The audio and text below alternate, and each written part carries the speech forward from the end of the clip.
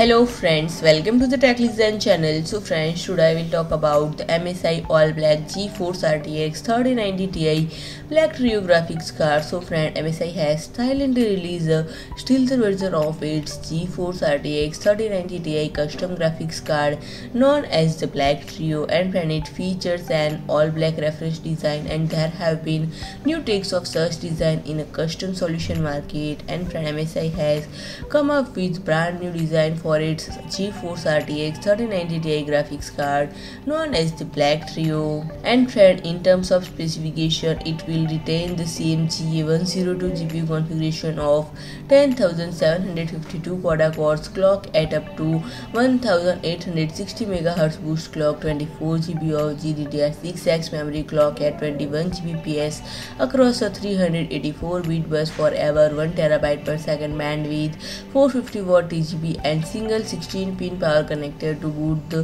whole thing up and friend display outputs also includes the standard triple DP and single HDMI configuration. And when if I talk about the pricing, this graphics card is priced below MRP of 1900 USD dollars. So friend, if you like my video, please do like, share and comment and don't forget to subscribe my channel and press the bell icon.